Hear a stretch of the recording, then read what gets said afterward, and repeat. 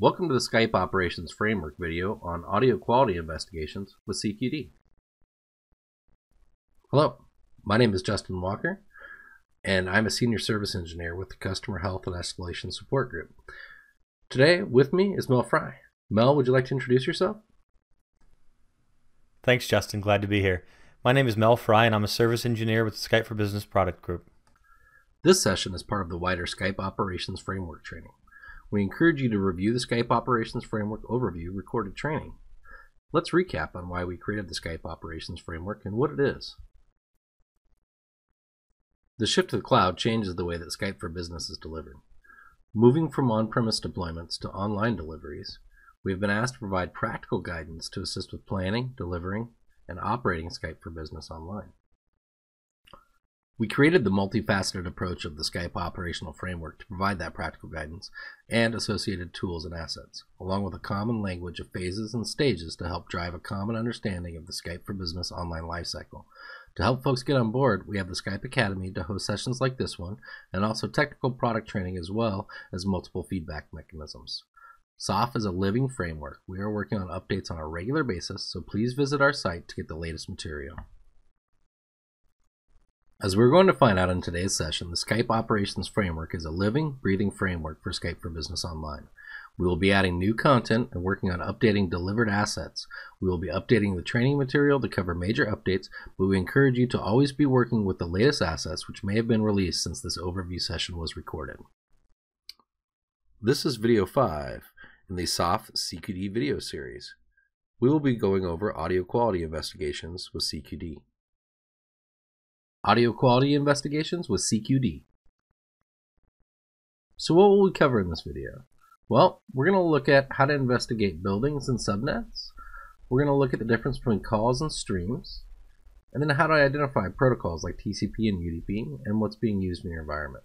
Also, we'll compare things like wired, wireless, VPN, and split tunneling, and also how outside or internet users are performing as compared to users inside the corporate network. In this demo, we're going to look at building and subnet methodology. We're going to start at an all-up number, and then we're going to dig into things like wired versus wireless, reflexive addresses and how to use them, knowing the difference between streams and calls, and also looking at protocols such as TCP and UDP. So when you first log in to CQD, you will be at the summary report page. The first thing we need to do is go to the detailed reports page by clicking this link at the top and then selecting detailed reports. Once you're in the detailed reports view, you'll be presented with an all audio streams report. This shows all audio streams, the number of poor streams, and the percentage of poor streams. And this is where we're going to start today. We're going to click on all audio streams here to open the sub-report. Once the sub-report loads, you'll be presented with two different reports, a managed and unmanaged report. The managed report has audio streams for users that are wired connected to your corporate network. The unmanaged streams on the right are Wi-Fi networks or people at home or in public locations. Since managed networks are connected to your corporate network and are wired, these should perform much better than unmanaged networks. Unmanaged networks include things like Wi Fi and public locations like a Starbucks or home users. So that bucket we expect to perform a little bit worse. Now, if we see a problem in either the managed or unmanaged space, we can dig in a little bit deeper by creating some custom reports. I'm going to go back to all audio streams, and I've preloaded some reports for us to use today. Let's assume that we found some poor streams in the managed report. So the first thing that we're going to do is look at the streams by building report that I've created here. The dimensions are simply the second building name, the audio stream count, and the audio poor percentage. Now, once I've saved this, we're going to wait for it to load a moment. What this report does is it shows us by building for the subnets that we've uploaded into CQD, the number of streams and the poor percentage. So if we have certain locations that are having trouble, we can find them right here. So for the purpose of this demo, let's look at CPIDC. This building has 44,000 streams, and a poor percentage rate of 1.2%. I'm going to scroll over to streams by building, and all I did here was filter down to that building and add a couple more parameters. One is obviously the building name, and second is the type of network connection, and third is the subnet.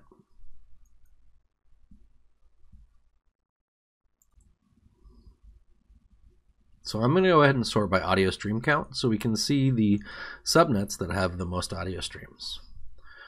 This first row indicates that the, most of the audio streams are coming off of Wi-Fi in this 10000 subnet. And their audio port percentage is at 1.4%. Now for a wired client on the same subnet, we're seeing an audio percentage of 0.7% for port calls, but only six, almost 7,000 streams. So this tells us the wired network is performing well, but there may be something more to look into on Wi-Fi. So let's take a look at Wi-Fi across the building. We may notice that certain Wi-Fi subnets have problems where others are performing well. So all we have to do is type Wi-Fi in the second network connection detail box and it will filter us down. Now we can scroll through and look at all of the Wi-Fi subnets for this building and what their statistics are. So this building actually appears to be performing very well.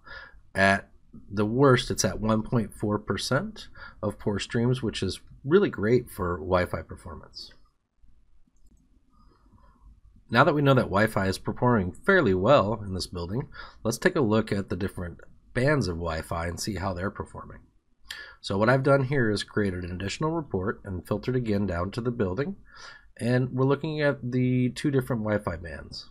So let me show you the dimensions, which is just second Wi-Fi band, and then the same counts and percentage numbers, as well as filtering down to that building that we were looking at earlier.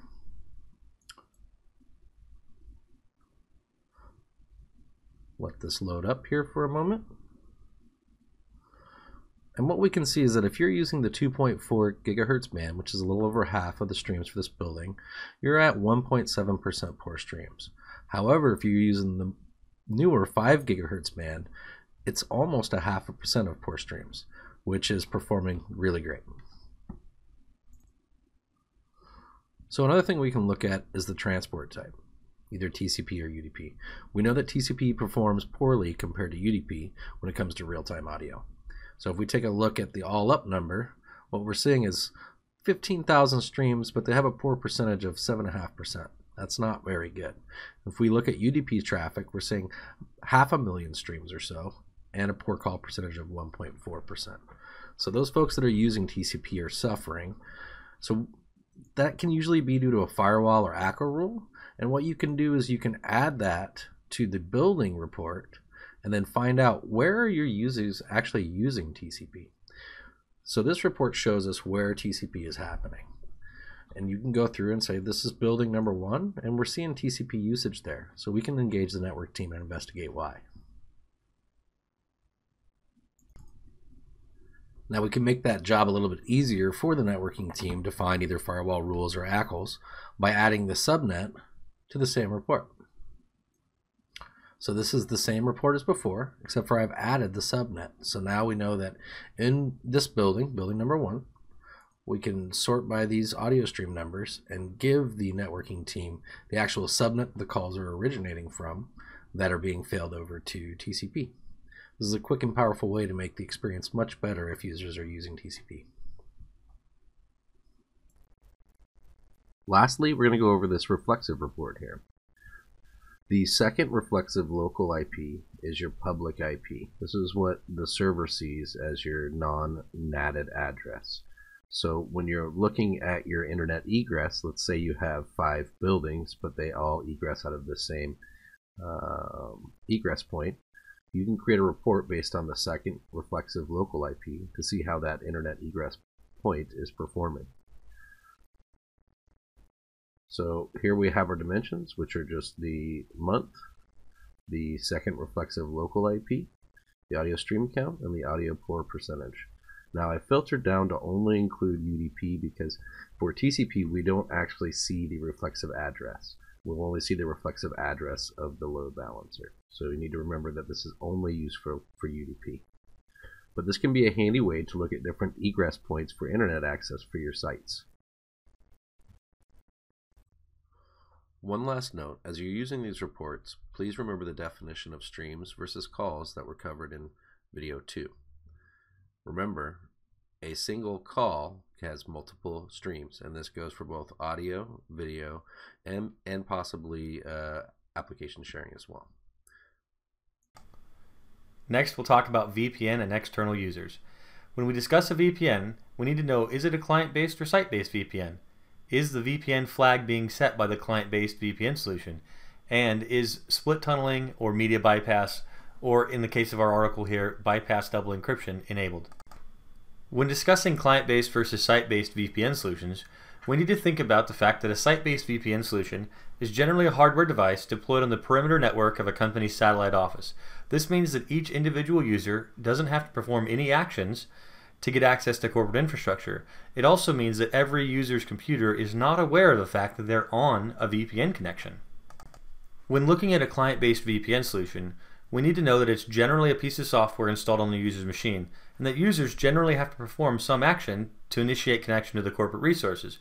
DirectAccess by Windows is actually one of the few exceptions to that rule. It's designed to be sort of an always-on VPN connection.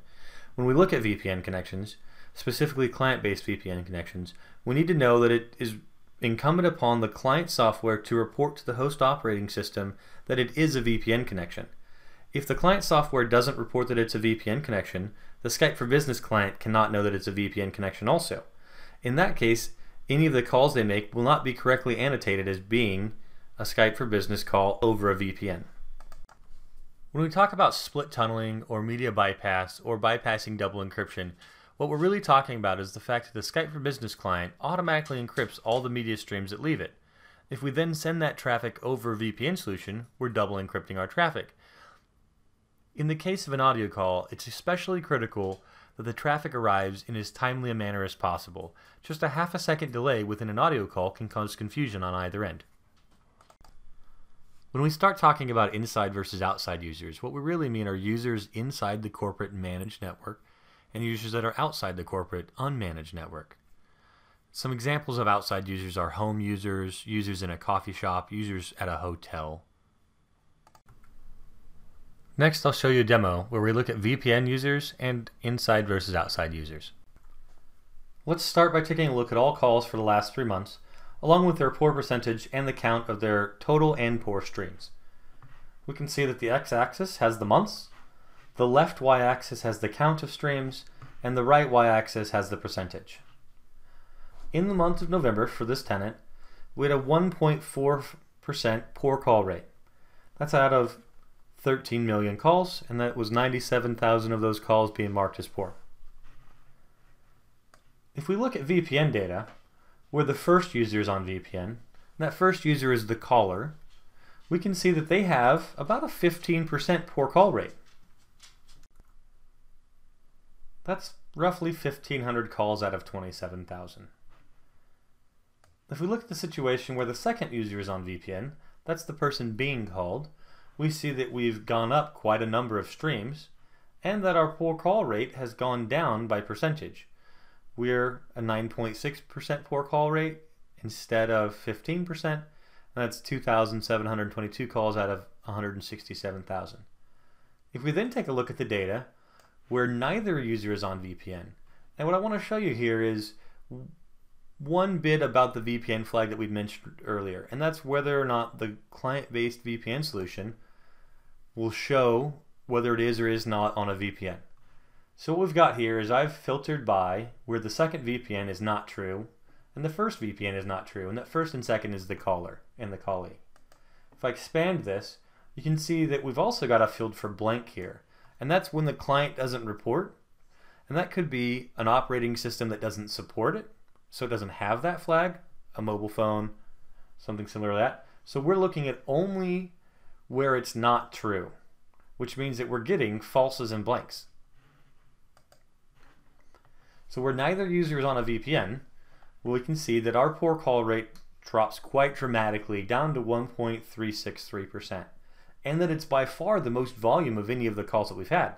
13 million calls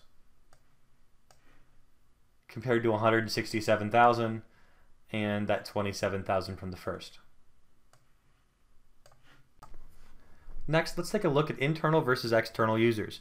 We call those inside versus outside or managed versus unmanaged. How we can tell if a network is managed is based on the subnet upload into cqd.lync.com. So if we scroll over here, we can see that for inside calls, where both users are inside, the number of streams that we have was 248,000 with a poor stream percentage of 0.7. If we scroll over a little bit more, we can see that in the call, where one user was external and one user was internal, the number of streams that we have goes up to 5 million, and our poor call rate also creeps up a little bit from 0.7 to 1.1% for poor stream. If we then look at where both users are external in a call, our stream count goes up to 8 million, and our poor stream percentage also creeps up to 1.6%. What this is telling us is that when both users are internal, our calls are 0.7% poor call. Um, we've talked about streams versus calls, so we can equate that roughly. We start looking at at places where we start losing management of the network, we can see that our poor stream percentage climbs up. Poor streams equate to poor calls, poor calls equate to poor user experience. So a quick recap of this demo. We looked at all calls. We, had, we found our average poor stream rate we looked at all the streams where one or the other user was on a VPN, and also all the streams where neither user was on a VPN. And what that showed us was that we had a much lower percentage of poor streams when neither user was on VPN. If we scroll a little bit more, we can quickly recap internal versus external. We can see that when both users are on a network that we control and manage, we have 0.7% poor call or poor stream rate, and when both users are on a stream or on a network that we cannot manage, we have a 1.6% poor stream rate. Next, we'll take a look at the inside versus outside stream details. As you can see, we're filtering on the inside corp pair. We have options of inside inside, inside outside, and outside outside. Here's a summary of what we've covered in this session. The methodology, streams versus calls, TCP versus UDP, wired versus wireless, VPN, and external users. Next, we'll discuss monitoring endpoints with CQD.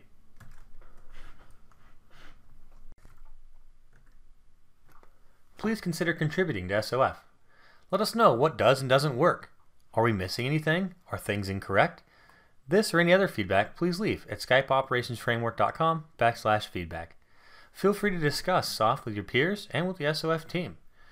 Learn more about how you can apply SOF to your projects and how other folks are doing it with theirs at aka.ms backslash SOF community.